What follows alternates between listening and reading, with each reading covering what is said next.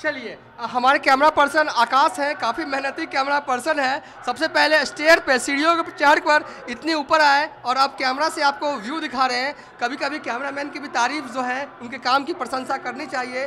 कैमरे के पीछे रहते हैं कैमरे के आगे हम रहते हैं, हमारा चेहरा आपको दिखता रहता है, लेकिन कैमरामैन भी खूब मेहनत करते हैं, एक एक एंगल के लिए, एक एक व्यू के लिए। जो व्यू आपको पहुँचा रहे हैं ना ऑथेंटिक व्यू है जेन्यून व्यू है है, हमने कुछ इसके साथ खेल नहीं किया है लाइव विजुअल्स है, लेकिन एक थोड़ा सा टिप्पणी हम करेंगे।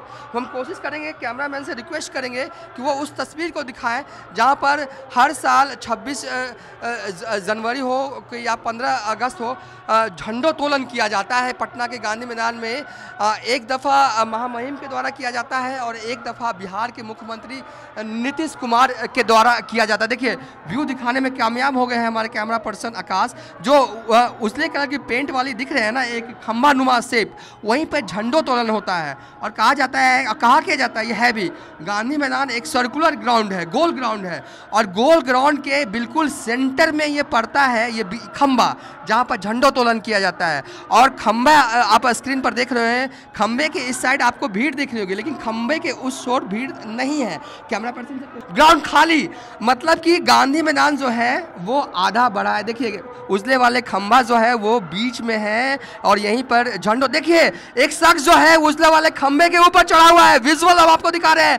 यह है जोश तेजस्वी यादव का, आरजेडी का झंडा लिए हुए, जहाँ पर हर साल छब्बीस जनवरी और पंद्रह अगस्त को झंडोत्तोलन किया जाता है। राष्ट्र ध्वज पढ़ाया जाता है वहाँ पर।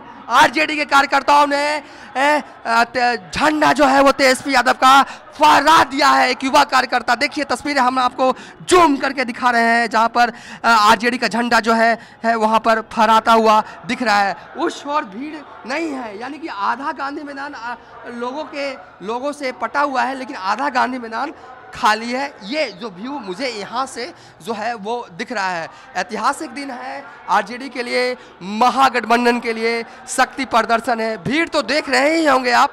थोड़ा सा इधर उधर का भी व्यू देख लीजिए आप। जब सब देख ही रहे हैं तो क्यों ना हम आपके लिए कोई व्यू छोड़ दें?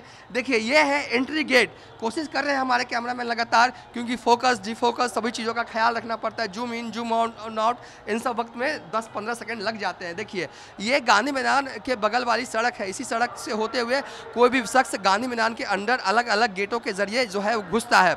और देखिए झंडे लेकर जो लोग हैं, अभी भी एंट्री कर रहे हैं. ये जो स्क्रीन पर तस्वीरें देख रहे हैं ना, ये जो लोग चल रहे हैं, पैदल चलते हुए दिख रहे हैं, ये असल में गांधी मैदान के अंदर जो जो जो लोग हैं, उनके सपोर्टर हैं, वो चाहने वाले लोग हैं, वो अंदर जाते हुए जो है, वो आपको दिख रहे हैं। ये व्यू भी इंपॉर्टेंट हो जाता है। जब देख ही रहे हैं तो सब कुछ देखिए, आनंद लीजिए और आप खुद ही तय कीजिए, खुद ही डिसाइड कीजिए कि तेजस्वी यादव कितने सफल हुए हैं, आधे सफल हुए हैं, पूरे सफल हुए हैं पौना सफल हुए हैं। तो थोड़ा सा नज़ारा उधर का भी ले लीजिए।